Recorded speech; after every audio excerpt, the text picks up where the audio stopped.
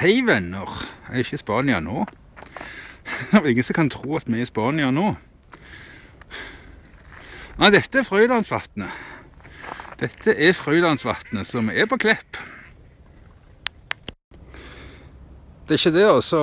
I forhold hvordan det har vært de siste årene, så er jo ikke dette her så veldig gale. Men det er kaldt nok. Ja, det er vel ca. 15 grader varmere i år enn i fjor. Nå er det altså minus 4 grader. Og det er altså en temperaturstigning på over 15 grader i forhold til i fjor. Det er ganske sprøtt.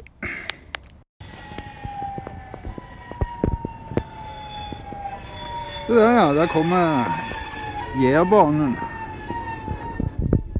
De har visst ikke fått problemer med kulden i dag. Jeg skulle jo bare mangle om den ikke kunne tåle minus fire. Men altså, i fjor og forfjor så hadde NSB faktisk problemer med å få togene til å gå. Så kaldt var det. Så det er bedre i år. Det er ikke noen tvil om det. Å, det må jo være utrolig kjipt å være svane i dette kalde vannet, hva? Se på den stakkaren der. Ser ikke mye kjekt ut. Det kan ikke være mye over null grader i dette vannet.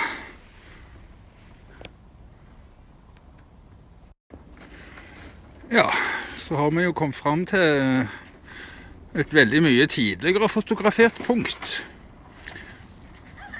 Det er nesten så til å kjenne igjen uten alisen. Det er en del bedre nå, altså. Det er ikke tvil om det.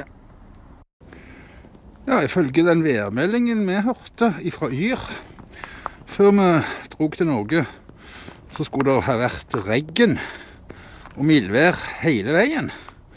Så denne her kuldeperioden som starta nå, den kom som et lite sjokk på oss likevel. Vi hadde rett og slett trodd at vi skulle slippe unna med bare regn hele julen. Men i morgen, i morgen skal det begynne å regne igjen. Det er noen lokker. Vet ikke det er noe bilde engang. Her skal vi se. Jo da. Der går det an å se det der hvite drysset. Noen liker det, altså. Det er helt ubegripelig. Kun der. Men det er for kjekt å det i Norge, til tross for at det er varmere i Spania.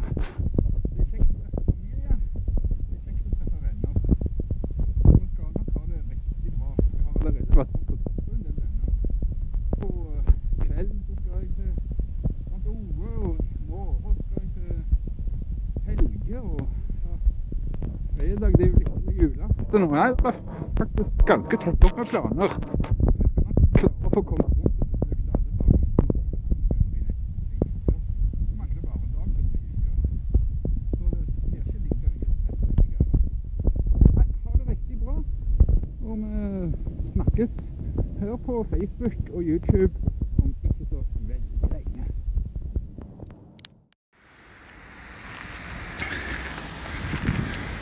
Ja, jeg må få si en ting til før jeg avslutter denne videobloggen. Jeg trodde faktisk at det var noe i nyhetene fra Norge om smørkrisen i Norge. Men jeg var nettopp inne hos Coop Prix her. Og de har jo de har jo alle typer smør nesten. Som dere ser, det er jo stappfullt av smør. Alle typer. Bortsett fra Tine. Så smørkrisen er rett og slett bare bløff. Han kan jo velge og vrake. De har nesten alle typer. Det eneste de ikke har, det er den der merkevaren til Tine. Og det er vel ingen som kjøper Tine.